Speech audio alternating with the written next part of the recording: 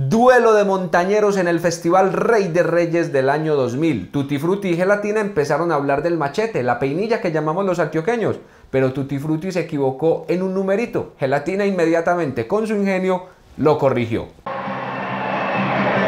Yo no sé qué será usted, pero la cosa es sencilla, porque yo me sé cuatro paradas.